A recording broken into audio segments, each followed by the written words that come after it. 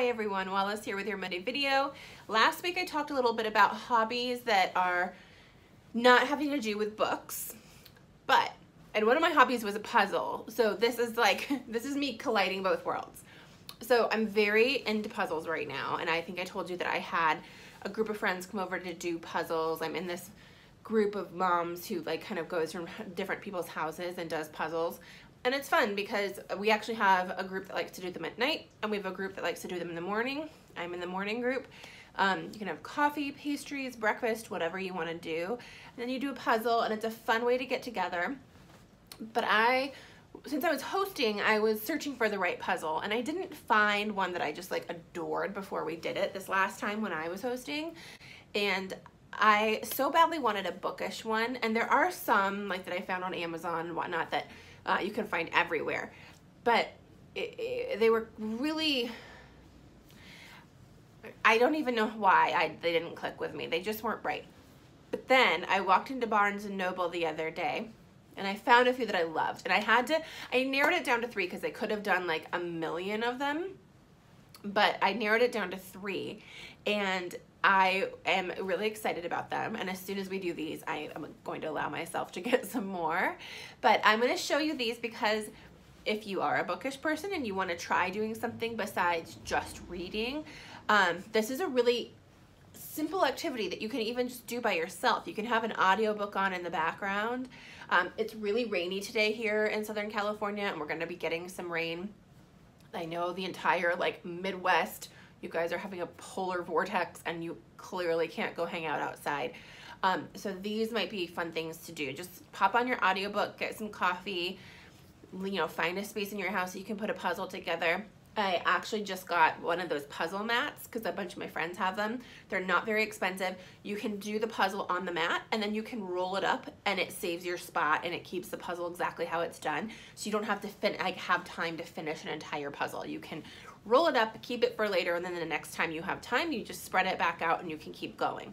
So this is definitely an easy solitary activity or something you can do with a friend or a partner um, and especially if you guys want to like you can have a conversation but you could also pop on that audiobook that like you're both really into right now or just have it be your time that you you know listen to a book together so the three that i'm going to show you are the three that i narrowed it down to there are some other, like I'll show, this one is from the Puzzle Company. And there's all these New Yorker covers, but this one made me happy because it was a cat looking out the window. Um, and New Yorker, I guess, isn't a book, but it's a magazine, and I enjoy it. So this was really fun to find this one. Um, but they have a lot of different New Yorker covers, and it's the Puzzle New York Puzzle Company, and I will link all of these down below. But um, so this one is fun. The newspaper is out, the coffee's out, they're looking, the cat's looking out over uh, the New York landscape. This one is from March 1st, 1982. That was when the cover happened. So I'm, I like this one. I'm excited to do this one. This one has a thousand pieces. Last time we did a uh, 500, 300 piece puzzle with three people and it took us an hour. So a, a thousand pieces are gonna take a little bit longer, especially if you're just doing it by yourself. But again, see how much of your audiobook you can listen to during it.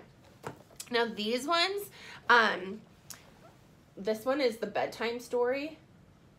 So I, there were several different options. So bedtime stories, and it has, if you can see, it has like a bunch of different colors of children's bedtime stories.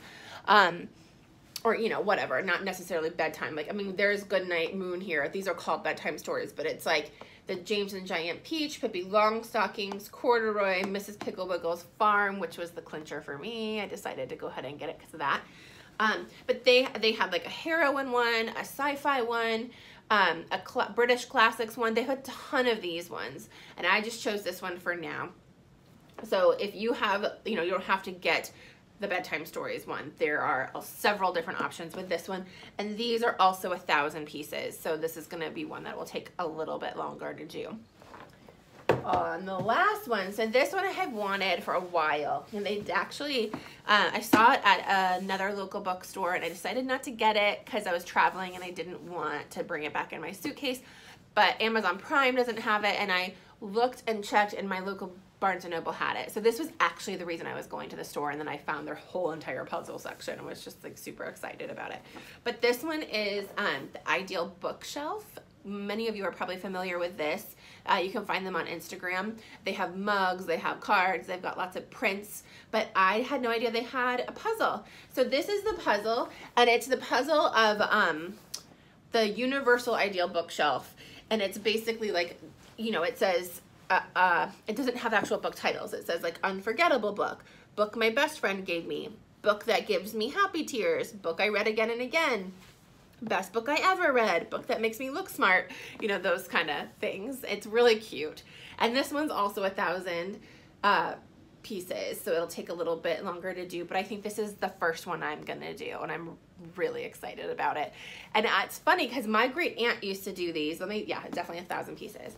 Um, my great aunt used to do these. I'm sorry about the wobbly camera. It's my cat. She keeps jumping up here when I try to do these videos. Super professional. So if this is a little off kilter, it's because my cat just knocked it down. She likes to be part of everything. Um, so I was saying my, my great aunt used to do puzzles all the time and she used to do them by herself. She used to do them with friends. And I remember there being this glue that you could use where you painted it over the puzzle and it actually makes it into a picture. Like you could actually frame it afterwards. So I'm gonna look that up because I'm not, I'm not gonna lie. I might actually make this one into a picture after I do it a few times and hang it because I just think it'd be kind of fun. And it's fun because you did it and there's like a good memory. So I was actually thinking it would be fun to do that with family like if you have kids or if you have like that are old enough to be doing puzzles that are cool and meaningful um, or grown kids or you know grandkids that are old enough to be doing that then you can pick like favorite puzzles to do like of things that you would like on your wall. And you know if you're watching this you're a bookish person so choosing any of these bookish puzzles or others that you find and then using that shellac and like putting it on the wall and having it be a memory of something that you worked on together for hours and the conversations that happened during that and whatnot. So I liked that idea. So I might actually be doing that. And if I find that uh, shellac or whatever it is that goes over them, I will post about it. If you have favorite bookish puzzles that you found, post about them down below so we can find them. Until next Monday, happy reading and happy bookish puzzle making.